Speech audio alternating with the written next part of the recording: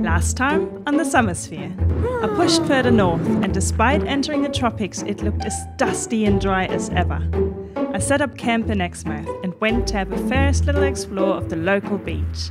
It was beautiful and got me really excited for the next day. How might be the happiest person alive? And in this episode, one of my biggest dreams is coming true.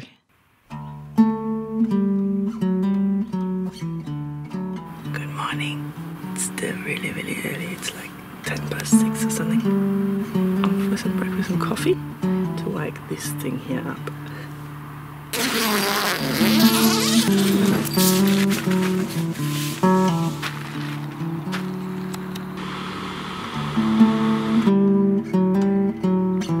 I had gotten up so early because today I was going to swim with the biggest fish in the sea, the whale shark. Alrighty, so off Go. Wish me luck. Bye bye, Jane.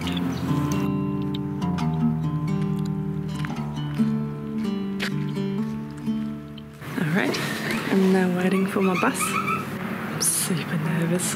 I hope we'll see one. I'd be very sad if I had come all this way to not see a whale shark. So wish me luck, guys. Wish me luck. Good morning, Good morning. how are you? I hopped on the bus and 40 minutes later arrived at the boat ramp on the other side of the Northwest Cape. A small tender took us to the big boat, where we met the crew and got set up with the all important snorkeling gear. We'll start handing out some gear, all right? We're on the boat now, got my wetsuit on, and we're going for a little morning snorkel. This being the Ningaloo Reef, I was immediately surrounded by coral and colourful fish. It was a fantastic way to spend our time whilst the spotter planes were up in the air trying to find a whale shark. Once they did, all hell broke loose. We rushed back to the boat to make our way to deeper waters. The excitement and anticipation on the boat grew and grew. We would go into the water in groups. Fully geared up, we had to line up on the back of the boat. I was so nervous. And then came our cue.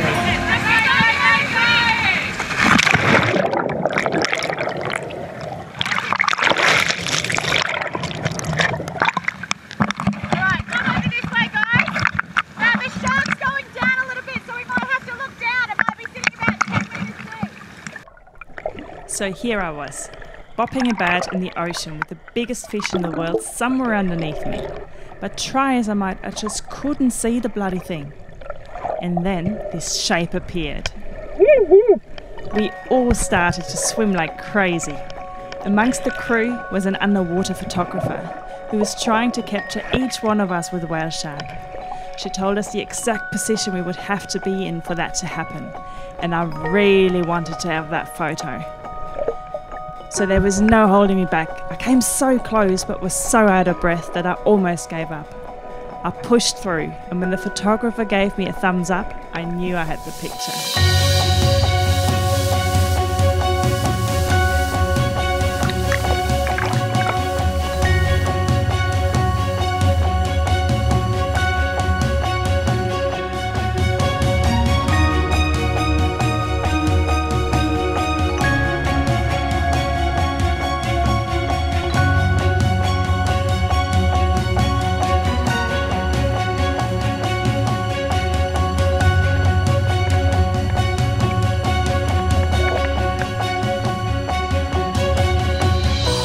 It was the best experience of my life. With an average size of 5 to 10 meters, these sharks truly were gentle giants.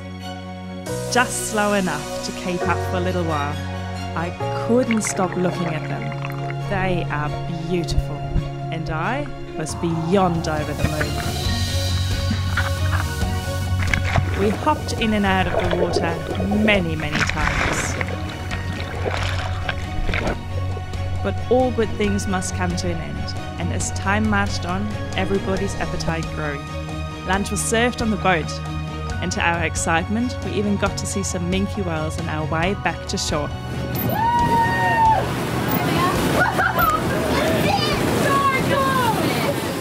But just before going back on land again, we all hopped into the water one last time.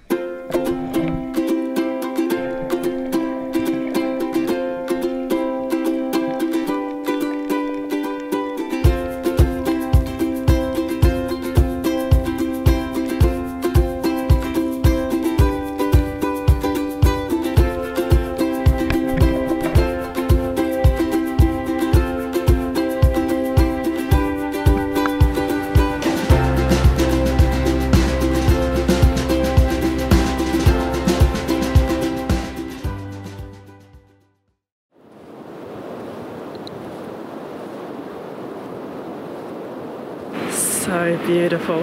Again. I mean, yesterday we were treated like yesterday was pretty special. It's a bit different today, but yesterday was dead calm, beautiful colours. But I reckon if you look at the sky here behind me, see those clouds there? I reckon they'll make for um, beautiful colours for the sunset. So I got my wide angle on my camera here, and I will see if I can capture something really special. All right, well, whilst I do that, I'm going to say goodbye to you for now, and I'll see you next time.